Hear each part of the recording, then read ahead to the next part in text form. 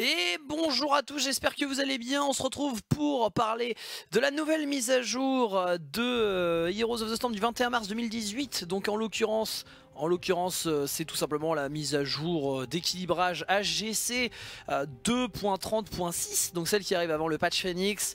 Avec, donc c'est vraiment un patch pour les HGC. C'est vraiment le correctif avant que les HGC reprennent ce week-end.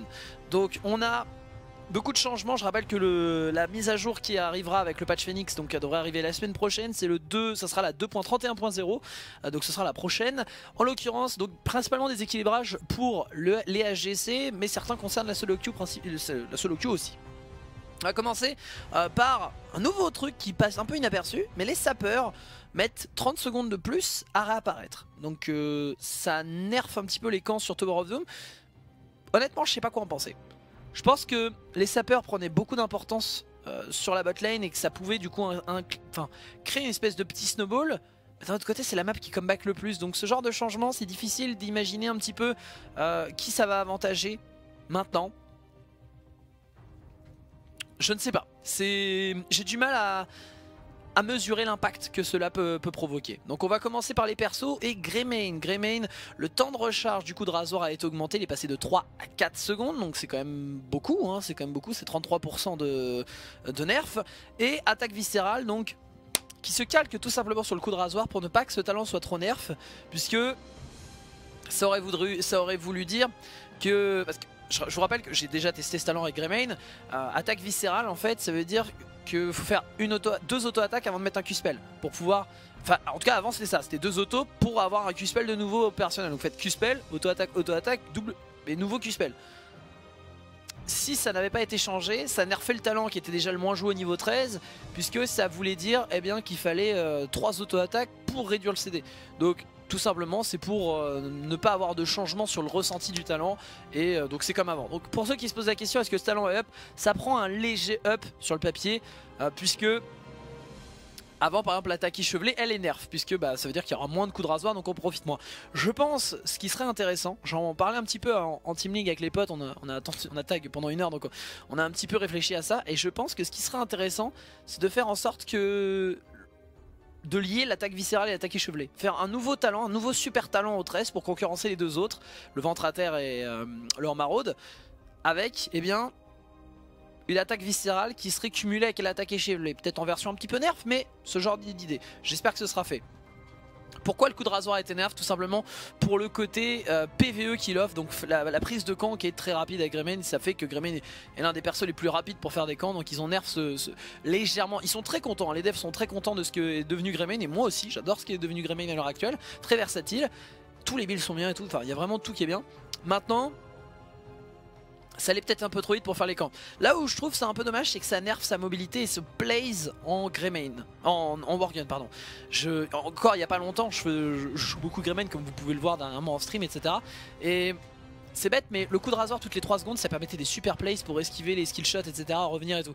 Donc c'est un petit nerf de sa mobilité et je trouve ça un peu dommage. À la limite, ce qu'ils auraient pu faire pour nerf vraiment le PvE, c'est en gros... Parce que s'ils veulent vraiment nerf le PvE, il aurait fallu faire en sorte que le temps de recharge soit 3 secondes, mais si jamais vous touchez un camp, ça soit prolongé d'une seconde. Et là, boum, vous ne nerfez pas la mobilité de Gomen, mais juste sa capacité à dépêcher les camps. Là, ça nerfe un petit peu par, par passivité, on va dire, par, par, effet, de, par effet intermédiaire, la mobilité de Gremen. Et ça, c'est un peu dommage, parce que je trouve que la Gremen est un des personnages avec un skill cap très très haut et qui est super intéressant à jouer. Maiev, il était temps, un nouvel équilibrage sur Maiev, fallait, on pouvait pas euh, jouer les HGC avec l'état dans lequel était Maiev.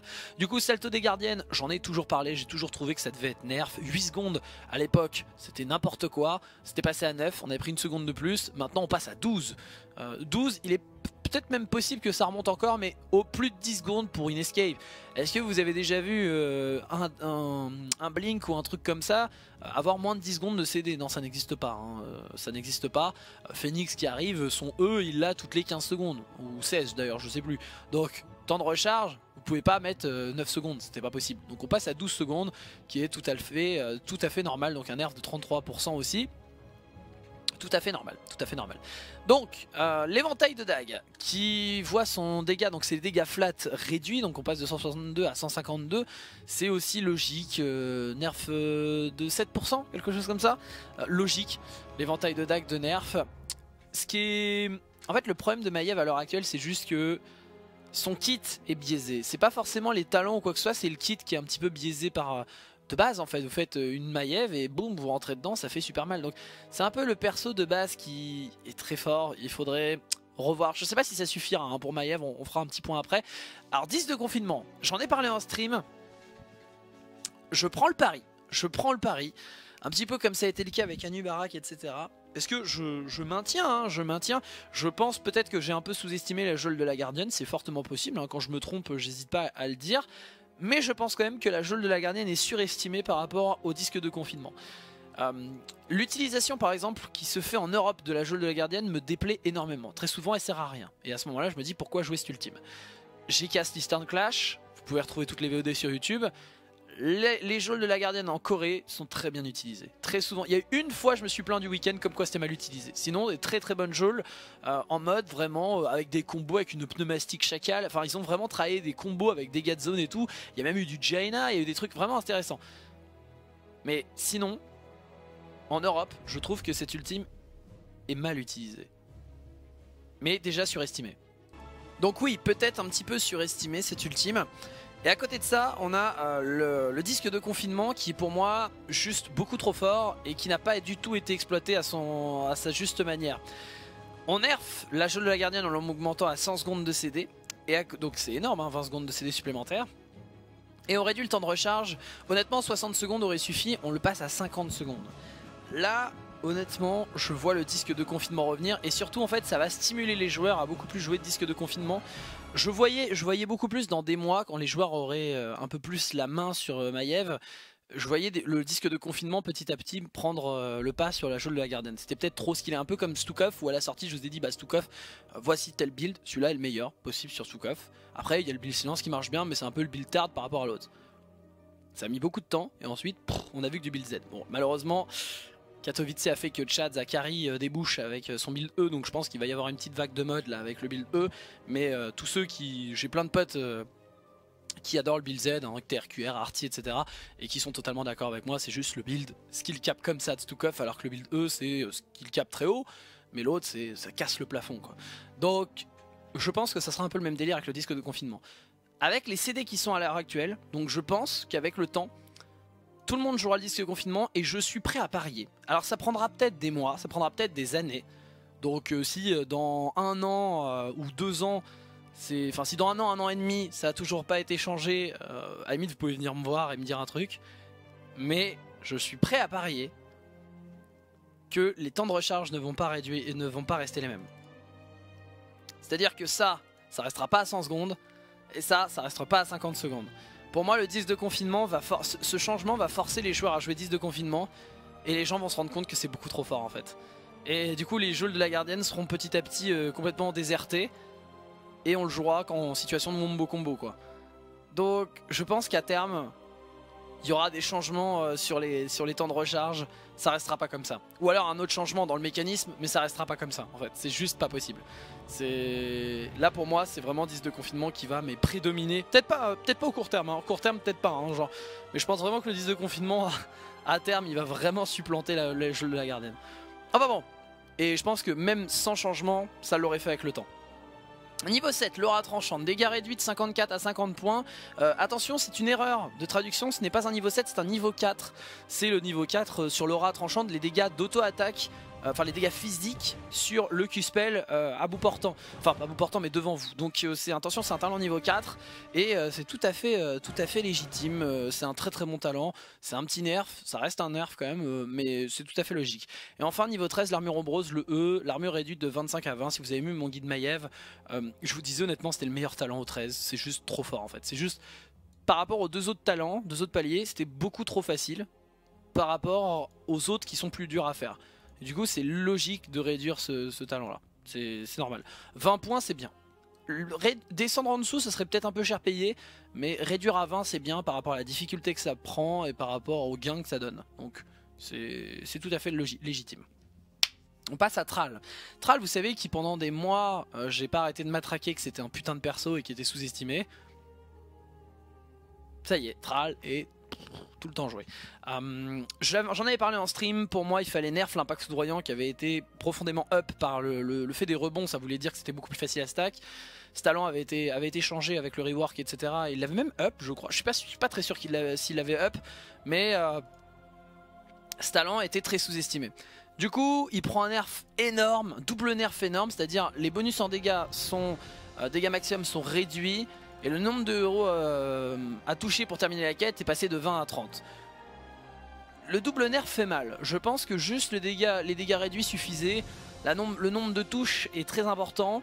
Mais dans tous les cas, je pense que c'est une bonne chose de ne pas avoir nerf le reste sur Thrall. Juste ce niveau 1. Très important. J'avais très peur qu'il nerf d'autres choses sur Thrall.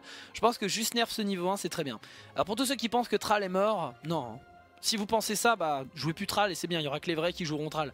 Mais double chaîne d'éclairs bleus, c'est juste le café en fait. Limite le rouge, c'est con, mais limite le rouge, c'était très fort, mais c'était anti-synergique avec le reste du build. Genre, deux chaînes d'éclairs ça proc plus facilement le 4, deux chaînes d'éclairs ça proc plus facilement le 7, deux chaînes d'éclairs ça proc plus facilement le 13, etc. etc. Donc, je pense que le bleu et même le vert hein, sont pas du tout ridicules. Hum, le vert a été up aussi hein, avec les rebonds, hein, la, distance de rebond, et il est même sorti en AGC une fois et il a gagné. Euh, même si je pense que le bleu est meilleur maintenant, l'impact foudroyant est tout à fait prenable aussi encore maintenant. Le talent n'est pas mort. Hum, tous les Kiku qui jouaient Thrall justement pour faire les dégâts, bon bah maintenant ils vont arrêter. Euh, mais ce talent est encore jouable, bien entendu, il fera toujours mal. Maintenant c'est le bleu pour moi qui est vraiment le top du top. Même en double rotation, hein, même en double rotation. En solo lane, le bleu de toute façon a toujours été à prendre. Euh, maintenant, si vous n'êtes pas en solo lane et que vous êtes dans les rotas, euh, vous pouvez totalement prendre l'impact foudroyant, mais le bleu peut marcher aussi. Hein. Même si, si vraiment vous êtes tout le temps dans les rotas euh, sur champ de l'éternité, le meilleur talent sur champ de l'éternité reste le rouge, si vous pouvez en profiter pour poke, sinon pas fou. Voilà, voilà qui voit un up assez intéressant. Euh, dégâts d'augmenter du multi-shot et on en reparlera pour les bugs parce qu'il y a des corrections de bugs aussi. Euh, tir multiple donc le multi-shot c'est dégâts augmentés de base donc passe de 165 à 172 alors là je vous vois venir vous allez dire malga le multi-shot qui est up et tout c'est incroyable. En fait c'est un up générique. Euh, faut savoir que dans le build multi-shot je vous laisse aller voir le guide Vala dans un build multi-shot il n'y a rien qui up vraiment les dégâts par rapport aux dégâts flat en fait. C'est pas par rapport aux dégâts flat que le multishot fera plus mal. Je rappelle que la punition au niveau 4 c'est en fonction du nombre de stacks de haine que le multishot verra des dégâts supplémentaires. Ce n'est pas en fonction euh, des, dégâts de base. L'arsenal au 7 qui je le rappelle n'est qu'à prendre qu'en build multishot. L'arsenal sinon bah, les marchands de mort en auto-attaque. De toute façon il y a une vidéo qui arrive bientôt euh, de gameplay en quick match euh, en build auto et vous verrez que le marchand de mort c'est très fort. C'est pour un build auto-attaque. Et du coup l'arsenal ça réduit le CD donc vous avez plus souvent votre multi-shot. Donc là d'accord ça augmente les dégâts du multi mais c'est pas brut c'est plus tard, c'est deux fois en teamfight. Le 16 qui est jouable aussi en build Q-Spell, très souvent en Q-Spell d'ailleurs, si vous allez voir mon guide aussi écrit euh, de Vala. Le build Q-Spell, très souvent vous prenez euh, le tir de givre 16, donc le multi-shot qui touche plus de monde. Donc là, au final, c'est possible, il Q-Spell. Et même en auto-attaque, c'est rare, mais vous pouvez le prendre, vous pouvez le enfin, il peut être pris en auto-attaque dans l'idée d'être safe et de pouvoir mieux hit and run derrière. Mais au final, le build multi-shot prend un up, mais comme tous les autres builds en fait. C'est juste un up flat de Vala. Donc c'est cool. Euh, ce qui va vraiment up le multi-shot, c'est plus tard. on en reparlera dans les, dans les corrections de bugs. Euh, mais bon, c'est bien pour Vala, on en a besoin. Euh, ce que j'aimerais pour Vala, j'en ai parlé sur le stream quand j'ai reparlé un peu de la patch note. Ce que j'espère, c'est que pour Vala, il y ait un correctif, c'est un retour que j'ai envoyé officiellement à Blizzard d'ailleurs. Euh, pour moi, ça devrait fonctionner comme la bête intérieure de Greymane. C'est-à-dire que la bête intérieure de Greymane, quand vous tapez, en fait, le reset de la bête intérieure, vous savez, c'est à chaque auto-attaque, ça, ça reprend, ça reprend le, temps de recharge, etc. Pour garder plus longtemps votre bête intérieure, donc votre, votre attaque speed. Le truc, c'est que la bête intérieure de Greymane, vous pouvez l'avoir dès que la balle tire en fait. Dès que la balle est tirée, vous avez le reset. Avec Vala, c'est dès que le carreau touche que vous avez votre reset sur la, stack, les stacks de, de haine. Et je trouve le fonctionnement dégueulasse en fait. Entre Greymane et Vala, Vala vous pouvez potentiellement toucher l'adversaire, mais perdre vos stacks, car le temps que le carreau arrive, le mec euh, bah, est parti et, et, du coup vous perdez vos stacks. Je trouve ça dégueulasse en fait, contrairement à Greymane où ça part, c'est ok. Pour ceux qui se demandent, un blind sur Greymane ou un, blind sur Vala, ça ne change rien. Greymane ne récupère pas son CD au moment où la balle part. Au moment où la balle part et si elle touche, hein, bien entendu. Mais hum, du coup, c'est un peu dommage, je trouve, pour que pour Vala, on n'ait pas le même fonctionnement. Hum, voilà, c'était ça que j'attendais vraiment pour Vala. Elle a besoin peut-être un petit peu d'aide à l'heure actuelle, Vala, mais c'est très bien. Zul'jin, Zul'jin, dégâts des attaques de base augmentés de 90 à 94, c'est un gros up. Euh, et à côté de ça, le coupe-jarret qui voit le temps de recharge réduit de 60 à 45. Je rappelle que le coupe-jarret c'est le filet. Le filet avait été nerf par le passé pour augmenter les autres talents 13. Et j'avais dit c'était pas forcément ouf, il n'y avait pas besoin de faire ça. Euh, et du coup, bah, on revient en arrière du côté de Blizzard. Mais c'est bien, ils, assument leur faute, ils reviennent en arrière. Euh, le temps de recharge du coupe-jarret qui repasse à 45 secondes. je trouve que c'est une très bonne chose. Le slow sur le Z marche bien. Et même l'œil de Zul'jin, hein, la move speed, marche aussi. Le coupe-jarret pour moi étant le meilleur, mais c'est bien. Là, c'est peut-être le seul nerf. Enfin, c'est peut-être euh, c'est peut-être vraiment le truc. Il euh, y, a des ups un peu solo queue, machin, etc. Là, c'est un, un, nerf solo queue et compétitif ici. La plupart sont des nerfs compétitifs malgré tout. Euh, mais le nerf Zul'jin, le up Zul'jin ici est un, up joueur pro, jouez-moi. Zul'jin fait partie des 7 persos à ne pas encore être sorti en SGC. si vous voulez vraiment, je ferai un listing, mais en gros, c'est Raynor, Zul'jin, Murky, Nazibo. Lily. Gazleux. Ah non, pas Gazleux, Gazleux, Je retire Gazleux. Euh, il m'en manque deux, putain, il m'en manque deux. Bon, je perds du temps bêtement. Euh... Rexar. Et... Rexar, Rexar, Rexar, et... Et Probius, voilà, les 7, les personnages qui n'ont pas encore été sortis en HGC. On a 91% de pick rate euh, dans les HGC. Tous les autres que je n'ai pas cités ont été joués. Donc tous ceux où vous poser des questions, etc., ils ont été joués. Donc euh, est sorti une fois. Et euh, il a perdu. Ah, pas grand chose, il a perdu. Du coup, Zul'jin, je pense que c'est vraiment une invitation à jouer moins HGC s'il vous plaît. Et je pense qu'il est très sous-estimé par les joueurs pros c'est vraiment le perso maintenant que je vais dire. Et le problème de Zul'jin, c'est que ce up là, en solo queue, est très fort. Zul'jin est un perso qui a toujours perf en solo queue, parce qu'il est beaucoup plus dur à punir et du coup il fait très très très très mal.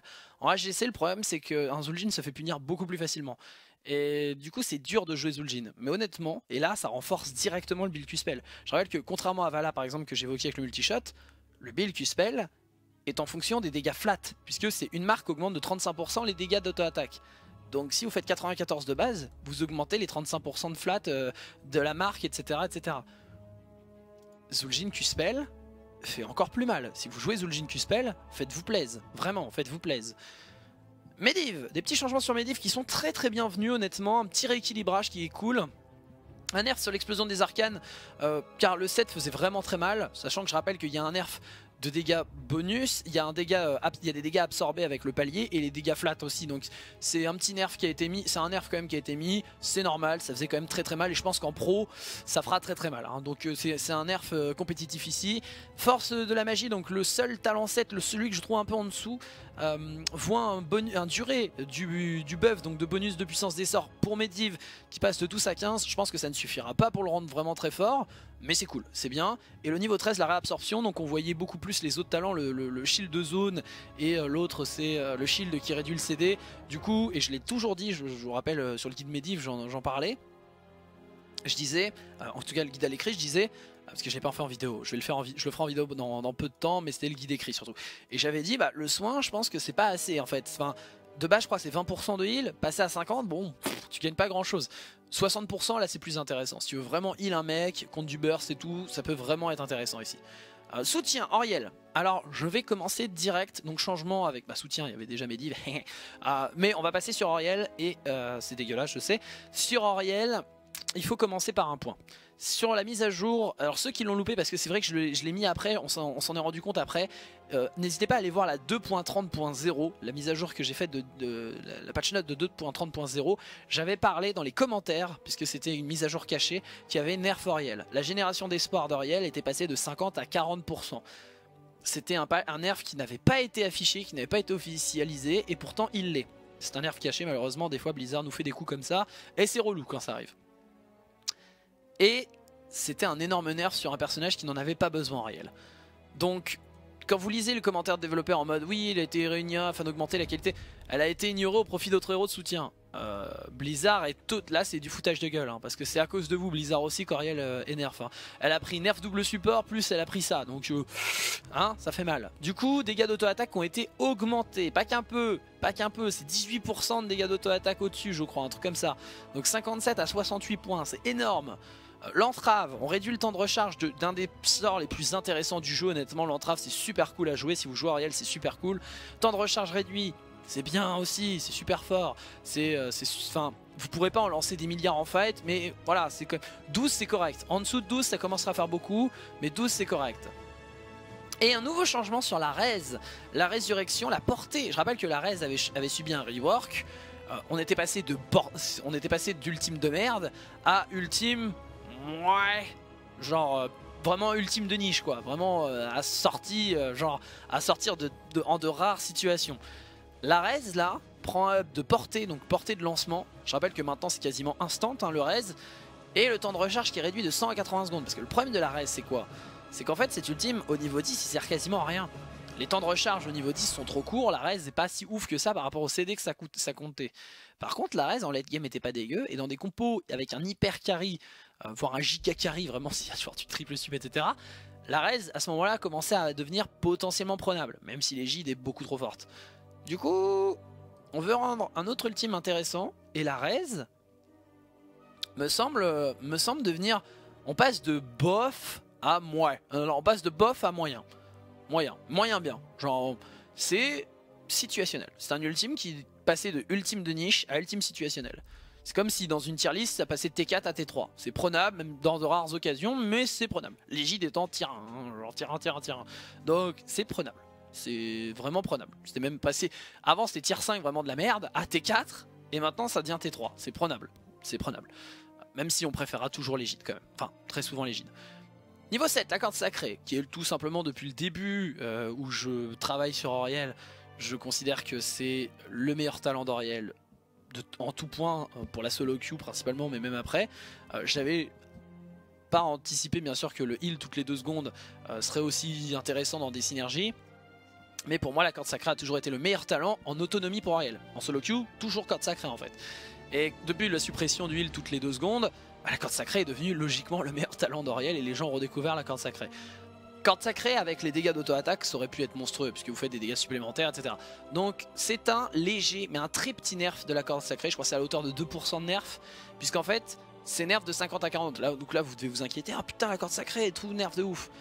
En fait ça a deux, buts cette, euh, ce nerf. Déjà équilibré par rapport au nerf qu'ils avaient fait sur la génération d'espoir par les alliés, qui était passé de 50 à 40 que personne n'avait vu venir.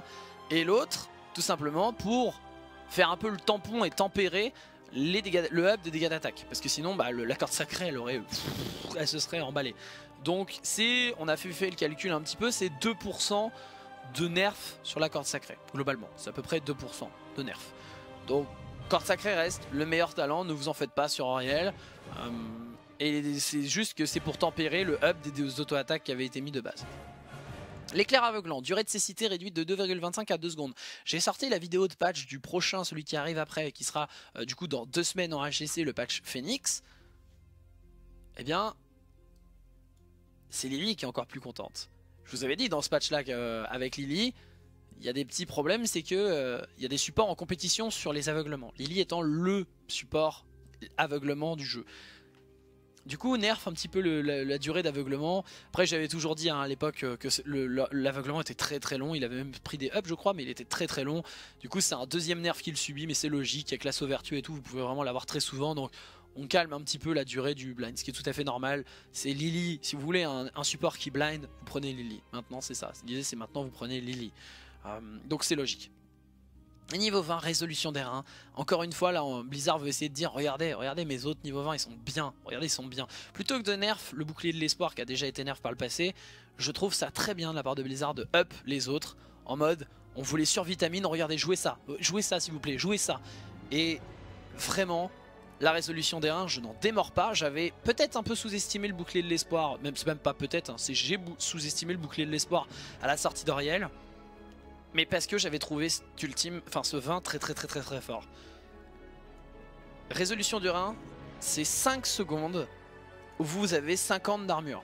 Quand vous connaissez que Sonia maintenant avec son rework a un bouclier renforcé qui est passé de 75 à 60 et que vous voyez que l'armure augmentée passe de 50 à 60 points, donc l'égide ça bloque les dégâts, à la sortie ça fait des dégâts qui vous génèrent de l'espoir donc qui vous permettent de heal le mec que vous avez mis en égide et ensuite il réduit de 60 points les dégâts subis. Est-ce que vous vous rendez compte de la force de ce talent? Il vient de gagner donc 10 points d'armure ce talent est monstrueux. Hein. Vraiment, ce talent est monstrueux. Le truc, c'est que c'est à sortir avec un carry qui est au teamfight, etc. Genre une Sonia, un Artanis, des trucs qui peuvent prendre, qui peuvent encaisser et faire énormément de dégâts. Mais à ce moment-là, c'est super fort.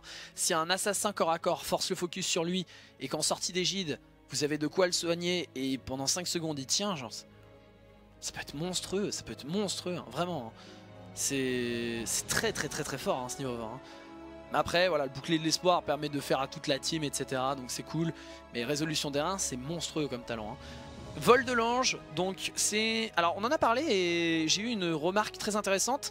C'était... Euh, on m'a fait une remarque très intéressante, c'est en fait, ça se calque un petit peu sur la monture épique de Falstad. Et je trouve que c'est très bien vu, à savoir que le, le vol de l'ange, du coup, bien passe à 30 secondes CD d'utilisation. Je trouve que c'est un bon point. Je ne sais pas encore si ce sera joué, mais c'est un point intéressant. Et en synergie avec une res, parce que la res au vent est pas ouf.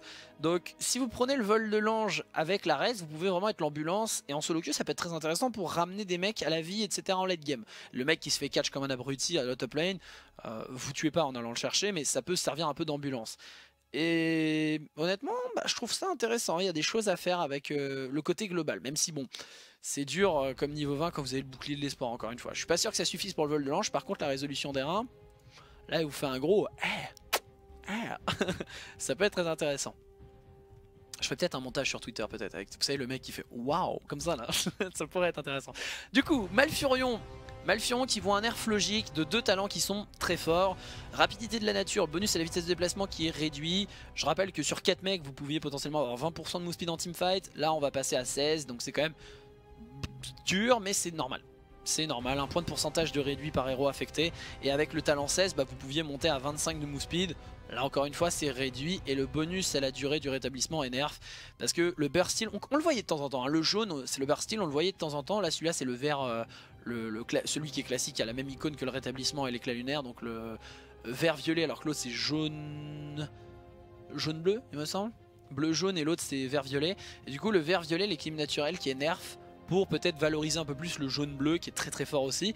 Donc je pense qu'on verra plus de jaune-bleu mais celui-là reste très fort hein, bien entendu. Les deux restent forts, c'est juste un petit nerf pour redonner un petit peu de chance aux autres niveaux 1 et aux autres niveaux 16 tout simplement sur Malfurion. C'est tout à fait logique, hein, à l'heure actuelle en pro on ne voit quasiment que ces deux niveaux 1, que ces deux talents là donc c'est tout à fait normal un petit rééquilibrage. Artanis qui voit un coup en mana, et j'ai testé Artanis là en, QM, je suis très content honnêtement, euh, le coup en mana qui est réduit pour la sévérité tranchante le A et le Z, c'est super intéressant parce que c'est con mais ce personnage il est assez manavore. C'est pas le personnage le plus manavore du jeu, je veux dire Kalta c'est bien plus manavore. Euh, c'est pour ça qu'on joue Convection 1, évidemment. Allez voir le guide Kalta, je rigolais. Hum, du coup, la réduction du coup en mana de ses sorts principaux, je trouve ça super bien. Je trouve ça super bien parce que c'est un, peu plus de confort sur Artanis et c'est cool. Et au niveau 13, ce talent avait déjà reçu un up, il en a reçu encore un énorme. 300% de vitesse de temps de recharge du A. Blizzard essaye de faire un truc pour le A, mais, ça suffit pas en fait. Ce talent reste pas, bon à côté de, des autres. Euh, le double E, le triple attaque, euh, même l'armure magique. Celui-là est le moins bon talent du palier 13, donc. Mais ça c'est super intéressant, ça c'est cool. Hein. Pour les Artanis c'est vraiment cool. Encore une fois, Blizzard fait un eh, joue-moi s'il te plaît. Ça c'est cool. Blaze Le point noir de ce patch, on attendait des changements sur le bunker. Et je trouve que ce n'est pas assez comme changement sur le bunker. Temps de recharge qui est augmenté de 40 à 50 secondes, ouais, ouais, c'est pas énorme. Certes, c'est 25% de CD en plus, mais c'est pas énorme. Si vous avez le violet, c'est comme si vous aviez 40 secondes de CD. C'est pas énorme. Si vous avez le Steam violet, hein, je parle en haut niveau. Hein. C'est vrai que dans ma tête c'est logique, mais peut-être que c'est moins logique pour, euh, pour beaucoup. Hum, et la capacité de sortir du bunker est désormais soumise à un temps de recharge. Ça évitera le. Après, ça, je suis un peu triste. J'en ai parlé un petit peu en live, mais je suis assez triste parce que très souvent, vous m'entendez parler de réflexe. On est sur un MOBA, ce qu'on veut, c'est de la réactivité. Et par exemple, bah, Phoenix, vous pouvez pas swap le Z instant faut attendre 0,5, 0,75 secondes avant de pouvoir reswap. Il y a beaucoup de choses qui se jouent comme ça, et je trouve ça dommage. Et pour une fois, je trouve ça bien, mais c'est dommage parce que ça tue cette mécanique que tout le monde veut, c'est la réactivité des persos. Donc pouvoir rentrer, sortir instantanément du bunker, c'est bien, ça crée des plays. Parce que c'est du coup 0.25 pendant lequel bah, peut-être le mec il aurait pris un CD s'il n'y avait pas eu ça. Donc il aurait pris un spell, un slow, etc. Donc j'aime bien l'idée qu'il y, qu'il y ait plus de réactivité pour créer les plays et le spectacle du jeu. Maintenant, valoriser le skill individuel des joueurs. Maintenant, c'est normal parce qu'il y avait trop d'utilisation des flammes, etc. Mais je pense que le nerf du bunker n'est pas bon. C'est pas augmenter le temps de recharge, c'est le minimum, le strict minimum qu'il pouvait faire. Donc là, on botte un peu en touche, en mode, ouais, bon, on va nerf un peu le bunker, mais c'est ce que vous attendiez, on nerf le bunker. Maintenant, moi, je pense qu'il devrait faire surtout un retour en arrière, par exemple. Tu mets 10 secondes de CD en plus, ok, 50 secondes, et tu nerfs de 10% les montants de PV. Encore une fois, je le répète, alors peut-être que le bunker était un peu sous-estimé à la sortie, c'est fort probable, mais je pense, et je répète et je maintiens, à la sortie, bunker combustion était tout à fait viable, les deux étaient tout à fait logiques et les deux allaient être pris. Je voyais beaucoup plus de combustion à jouer en solo queue et plus de bunker en team, mais globalement les deux me semblaient tout à fait logiques. Et Blaze, avant son up sur le bunker, en Corée, les deux étaient joués, combustion et bunker. Donc j'étais très content, ça me donnait raison. Peut-être qu'on avait un peu sous-estimé le bunker aussi, c'est possible. Mais il se tombait beaucoup plus vite le bunker à ce moment-là. Je rappelle que le bunker a pris 20% d'augmentation de PV. C'est énorme. Du coup, j'aurais bien vu un, up de 10 secondes et un nerf de 10% des PV. Pour moi, là, le bunker, ça reste très fort en fait. C'est pas un énorme changement. Donc bon. C'est toujours intéressant, mais pour moi, le bunker restera, restera euh, main joué, enfin tout le temps joué à GC. On verra peut-être une combustion de temps en temps et je n'y crois même pas. Euh, côté Sonia, par contre en solo queue, combustion, il n'y a pas de problème, hein. allez-y. Hein. Euh, Sonia, après c'est bien parce que ça a aussi permis à, avoir plus de bunkers en solo queue. Euh, Sonia, Sonia, on va. J'aime beaucoup ces changements sur Sonia puisque on nerf. Là, c'est vraiment plus des nerfs solo queue d'ailleurs que des nerfs pro, euh, puisque on a vu des. Enfin, Sonia, globalement, c'est quoi? Ça va être le coup furieux. Augmentation du Z au 1 euh, qui était probablement le moins intéressant au niveau 1 les peintures de guerre et le blocage est toujours aussi fort. On a le niveau 4, la fureur guerrière qui est activable. Je vous l'ai dit que ce talent était monstrueux. Je suis très content, je suis assez fier de moi. Là-dessus, je dois vous avouer, je suis assez fier de moi parce que le guide Sonia que j'avais mis un jour à l'écrit eh ben, était tout à fait vrai. Euh, c'était un build un peu plus solo que pro d'ailleurs, même si j'avais mis le truc pour, pour s'adapter un petit peu à la scène pro. Euh, mais je suis assez fier de moi puisque voilà, je disais le 4 était beaucoup trop fort, euh, je m'étais pas trompé, nombre de charges qui est réduit de 3 à 2 et le temps de recharge entre chaque utilisation qui est augmenté de 5 à 8. Ça ne change strictement rien à votre manière de jouer Sonia. Un petit rappel, si vous faites le build, je dirais piano de Sonia avec 3 activables, donc la fureur carrière, le nerf d'acier au 16 et le bouclier renforcé au 20, essayez de privilégier la fureur guerrière, parce que vous avez deux charges, essayez de privilégier la fureur guerrière en premier et ensuite de claquer le bouclier renforcé. Pourquoi? Parce que quand vous allez commencer à prendre 10% PV, boum, vous claquez ou 20% PV, vous allez commencer à claquer la fureur guerrière. Ça va vous remonter de 10% et le CD commence de la deuxième charge. Vous allez la temporiser en CD effectif avec le bouclier renforcé sorti très tôt en fight. Pourquoi? Parce que très souvent les mecs vont balancer tout sur Sonia, euh, genre en début de fight, très souvent. C'est plus en solo queue, en pro c'est moins vrai. Mais en solo queue, très souvent les mecs vont tout balancer instant. Boum, vous claquez le bouclier renforcé les gens, ils ont des compétences, ils les spam. Ils attendent pas de voir comment ça se passe, réagir, etc. Du coup, vous lancez le bouclier renforcé après. Ça vous permet de tanker 60% de dégâts. En sortie de bouclier renforcé, vous avez déjà, donc ça dure 4 secondes, vous avez temporisé un peu plus le retour de la charge. À ce moment-là, vous avez toujours une charge et, les nerfs d'acier. À ce moment-là, vous claquez les nerfs d'acier pour pouvoir euh, tanker un peu plus et vous remonter avec votre trombe. Et pendant ce temps, vous pouvez lancer votre euh, fureur guerrière. Et comme ça, vous, vous temporisez et vous restez en vie très longtemps tout en temporisant le retour de la prochaine stack de Fureur Guerrière. Et le temps de recharge entre utilisation a été temporisé aussi. Donc ça, c'est toujours très intéressant. Voilà, c'est un petit conseil pour comment jouer Sonia. Euh, Fureur Guerrière, très très fort comme talent. Restera très très fort. Il reste toujours très fort à ce niveau 4. C'est pour moi le meilleur talent 4 malgré tout. Hein. C'est un nerf logique, mais ça reste très fort. Lance mystique, réduction du temps de recharge diminué de 3 à 2 secondes. Là, c'est un mais qui sort. Pourquoi? Parce que bah, en fait, la lance mystique, euh, le problème, c'est pas que c'est trop fort. Le problème, c'est que les talents du même palier sont pas terribles. Le finisher sur le, c'est de la merde. Globalement, ça, en vrai, c'est pas de la merde, mais globalement, je dis ça parce que bon, voilà, je fais mon caradoc, mais euh, globalement, en fait, il y a trop de y a trop de cas où ce n'est pas assez fort. Ce genre de talent, quand c'est situationnel, ça doit être très fort. Pas OP non plus, mais très fort. Le truc, c'est comme, enfin, c'est un finisher, donc tu l'utilises quasiment jamais Donc il faut lui donner un petit truc en plus, il faut lui donner un petit passif, un petit truc, ou augmenter les chiffres, mais ça peut être trop fort d'augmenter les chiffres. Mais du coup, les, deux autres talents sont pas dingues. Et l'autre, c'est la mousse speed, qui est pas dégueu, hein, 20% de mousse speed. Ça va peut-être permettre à la Sonia de voir un petit peu plus de mousse speed au 13 sur Sonia. Euh, qui est pas dégueu, mais peut-être euh, réup un peu, par exemple la move speed, passer à 25 au lieu de 20%. Il euh, y a plein de personnages qui donnent 30 à 40 et il y a eu une surenchère des, gains de move speed. Peut-être que passer à 25% de move speed, ça peut être intéressant sur Sonia. Mais à l'heure actuelle, la lance mystique, c'est plus de lance, plus de burst, plus de mobilité. Et ça donne la mobilité avec le, pourquoi jouer autre chose en fait? C'est ça le problème. Blizzard là, a mal cerné le problème je pense. Saccage enfin. Alors ça c'est plus un talent de solo queue. Hein. En pro on verra encore beaucoup toujours la nerf d'acier pour le côté tanky. Parce que Sonia en pro, bah, les mecs a bien joué. Et en face aussi du coup, euh, plus facilement puni. Donc ça c'était le talent que je vous avais proposé mais en solo queue. Du coup je pense qu'en solo queue ce talent est toujours prenable mais peut-être plus prioriser les nerfs d'acier. En pro c'est sûr ce sera nerf d'acier. Donc c'est vraiment un nerf solo queue ça parce que le saccage, réduction du temps de recharge même des anciens, c'était pour avoir en permanence votre lance. Lance mystique plus lance euh, au 16 plus la lance au 7. Faisiez des métiers des grosses tatanes. Hein. Donc c'est un léger nerf, ça reste très fort bien entendu. En solo queue, à vous à vous de tester un peu les deux. Je pense que Nerf d'acier du coup est peut-être un peu plus dans l'équilibre on va dire où les deux étaient très forts. Je pense que Nerf d'acier passe un peu devant mais celui-là reste toujours très fort bien entendu. Euh, donc voilà euh, c'était pour Sonia. On va passer à Tyrael. Nerf que je call depuis la sortie, depuis le rework de Tyrael, Justice Universelle, c'était trop fort. Euh, du coup, on passe de 100% à 75. Je trouve ça un peu dommage qu'ils aient pas séparé les alliés, les héros alliés et le reste mais 75% c'est mieux que ce que j'avais call. Moi je pense que j'avais parlé de 50% plutôt aux alliés ou 60% aux héros alliés. Euh, donc 75 c'est mieux et au final bon ça concerne tout, les sbires, les mercenaires etc. Donc c'est un nerf logique, je pense qu'il n'y aura pas besoin de toucher plus la justice universelle. Ils ont déjà fait un up des autres talents, euh, baisser la justice universelle c'est normal. Donc euh, pour une fois que je voulais qu'il y ait un up des autres et un nerf du concerné, c'est été fait, c'est tout à fait normal. Correction de bug, donc maintenant il y a quelques trucs. Tyrell, euh, des petits soucis avec le mecha Tyrell, Johanna pareil avec le skin, bon c'est pas grave.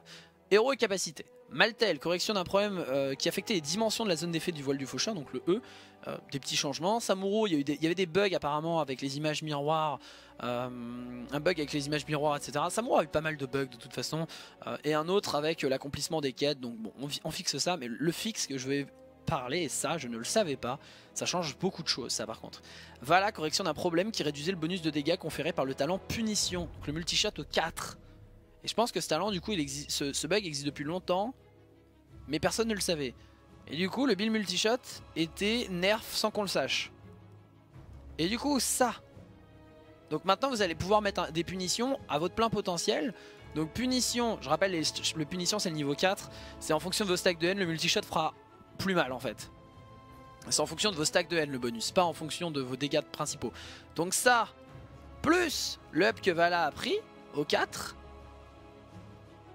euh, en base, en dégâts flat et la punition, ça fait que Vala multishot, euh, elle va deal, hein Elle va deal, hein Donc, euh, bah écoutez, euh, c'est l'heure de chasser du démon. Hein, c'est non, voilà, voilà multishot, ça va être très intéressant. Et c'est cool, c'est cool, c'est cool là-dessus.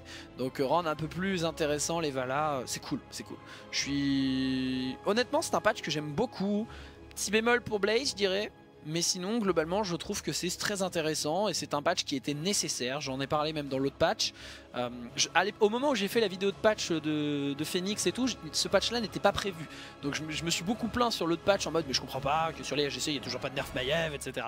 Donc ça y est, c'est arrivé et du coup bien joué Blizzard, vous avez fait euh, deux bons patchs globalement. Euh, il y avait du foutage de gueule sur Ariel qui a été modifié, donc c'est bien, on y revient. Par contre, bon, c'est un peu de mauvaise foi le commentaire développeur parce qu'ils expliquent pas qu'ils ont fait de la merde sur Ariel. Euh, et Blaze, je pense que c'est pas assez pour, pour les modifications sur le bunker, je m'attendais à plus. Du coup, c'est les deux petits points noirs, mais sinon très très bonne patch note. Euh, très bonne patch note. Tral peut-être un peu sévère, mais très bonne patch note. Et pareil, celle de Phoenix, je suis assez content. N'hésitez pas à me donner vos impressions, bien entendu. Cette vidéo est terminée. J'espère en tout cas qu'elle vous a plu. N'hésitez pas à la liker si c'est le cas. N'hésitez pas à vous abonner si vous ne l'êtes euh, toujours pas. N'hésitez pas à partager autour de vous, hein, bien entendu, en mode Hey, t'as vu la patch note et tout? Bah regarde, Malgal on a parlé. Oh, c'est incroyable. Tu sais en plus que dans la description, si tu cliques aux endroits, et eh bah, ben, ça t'envoie directement sur le perso concerné. Oh, mais c'est formidable Donc voilà, je vous laisse, bien entendu. Lien du patch note si vous voulez le lire vous-même est dans la description, je le mettrai dedans. Euh, merci, n'hésitez pas à me donner vos, retours bien sûr sur euh, ce que vous pensez de la, vidéo, ce que vous pensez euh, de ce patch note, qu'est-ce que vous attendez, est-ce que vous pensez que c'est suffisant pour bah, par exemple Blaze? Un point, voilà, tout, tout, ce qui vous concerne, etc. Donc n'hésitez pas si vous avez des questions, si vous avez des observations, juste des retours hein, par rapport à la vidéo. Donc voilà, je prends tout évidemment. Donc j'espère en tout cas que ça vous a plu encore une fois. Merci à tous de faire grandir la chaîne. Je vous fais plein plein plein de bisous. On se dit à bientôt pour de prochaines vidéos. Et à plus dans le Nexus.